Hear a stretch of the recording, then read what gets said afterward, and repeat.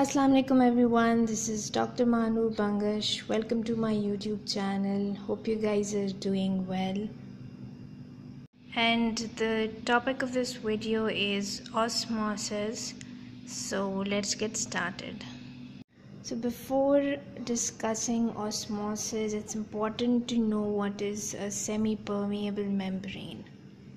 A semi-permeable membrane or a selectively permeable membrane is a type of cell membrane which allows only certain type of particles or selective particles to pass through it under certain conditions.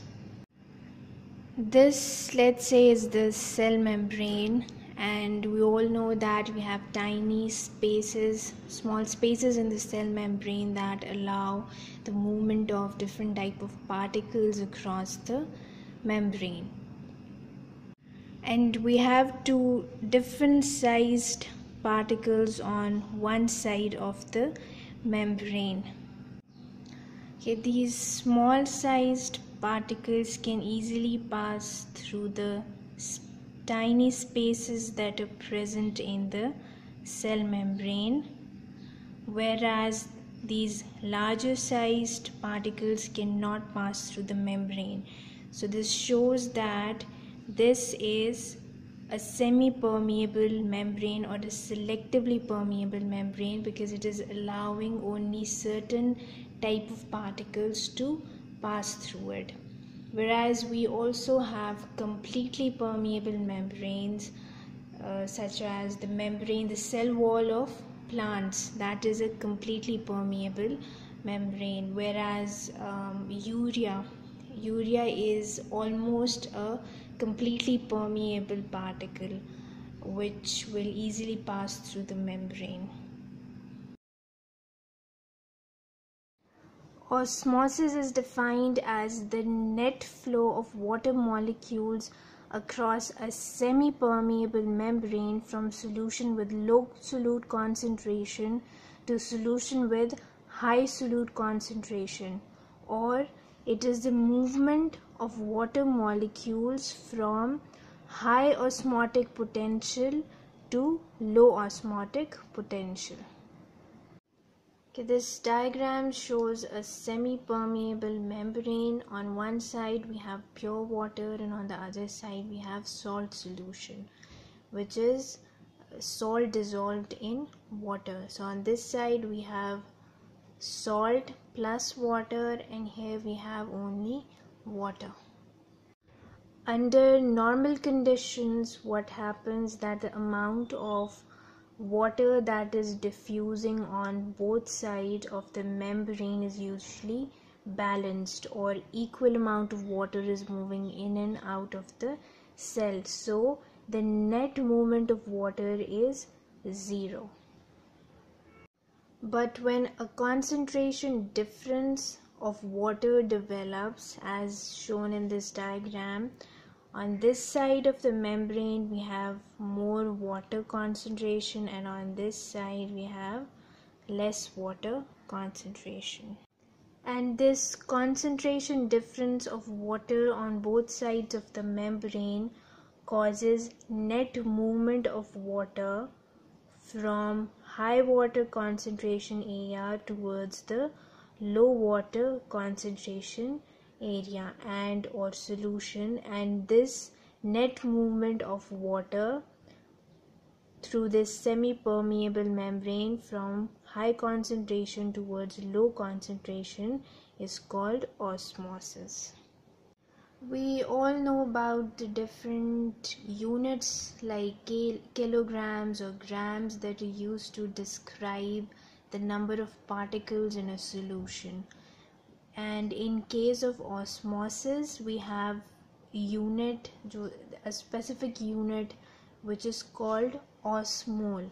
So it's a unit which is used to express the concentration of solution in terms of number of particles. So in osmosis instead of using gram or kilogram number of particles we'll rather use osmole. So osmole is 1 gram molecular weight of the osmotically active solute. Osmotically active solute is that solute which is retained which cannot pass through the semi-permeable membrane and that so retained solute is the osmotically active solute because it causes the osmosis of water across the cell membrane so 1 osmole is equals to 1 gram of the solute. Okay so we know that 1 osmole is equals to 1 gram of solute dissolved in a solution right? Now let's say we have 1 gram of glucose. Now when glucose dissolved in water right? Now glucose will not dissociate into ions. It will remain in the form of this C6H12O6 like so as a result 1 gram of glucose is equals to 1 osmole of glucose. But in case of ions let's say sodium chloride. Sodium chloride when dissolved in water will dissociate into two ions sodium and chloride right? So now this is one and this is one. And when added together we get two ions. So 1 gram of sodium chloride dissolved in water gives us 2 ions and that 2 ions will be equal to 1 gram 2 osmole of sodium chloride. So this shows that although 1 osmole is equals to 1 gram of solute, but when you're calculating this osmole of the solute, you have to consider whether the solvent when dissolved will dissociate into ions or not. If yes, then you have to consider each ion individually. Osmolality is 1 osmole of solute dissolved per kilogram of solvent and osmolarity is 1 osmole of solute dissolved per liter of the solvent and osmolarity is a colligative property which means that it depends on number of solute particles and not the type of chemical species that is present. For example, it will depend on the number of sodium and chloride ions that are present rather than whether we have sodium, chloride or hydrogen ions. And we can see this in the formula which is used to calculate the osmolarity. So the formula used to calculate osmolarity is osmolarity is equals to G into C whereas G is the total number of solute particles that are present in solution and the unit used is osmole per mole whereas C is the concentration of solute which is mole per liter.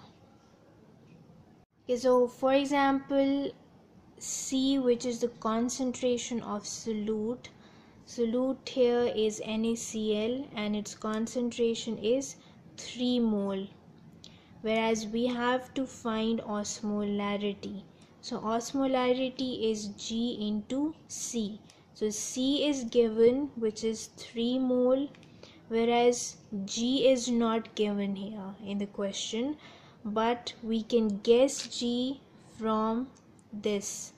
See in NaCl we have two ions, one sodium and one chloride. So the total number of particles that are present in sol a solution will be 1 and 2. So G is 2, C is given, 3 into 2 is 6. So total osmolarity is 6 osmole per liter.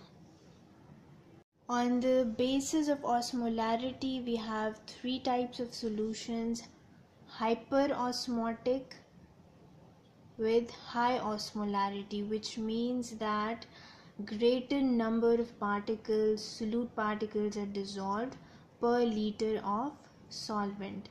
Hypoosmotic low osmolarity means less number of solute particles dissolved per liter and isoosmotic means same osmolarity or two different solutions with same number of solute particles dissolved per liter.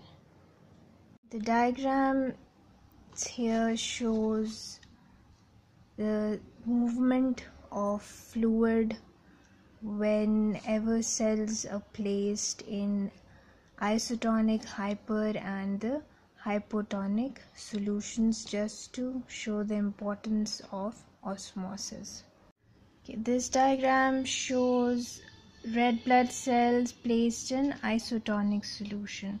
Since it is isotonic, we have same concentration of solute outside and into the cell, so equal amount of water will be moving into and out of the cell, maintaining the normal volume of the cell. This diagram shows red blood cells placed in hypertonic solution. This solution is hypertonic means it have more um, solute concentration as compared to uh, that inside the cells. So as a result of that water will move from the cells into the uh, the solution outside because it is hypertonic and that will result in shrinkage of the cells as shown here. And this diagram shows red blood cells placed in a hypotonic solution. Hypotonic means less solute concentration as compared to the cells. As a result the fluid will move from outside into the cells resulting in swelling or enlargement of the cells. So this was all about osmosis. Please don't forget to like and share this video and subscribe my channel. Thank you. That and take care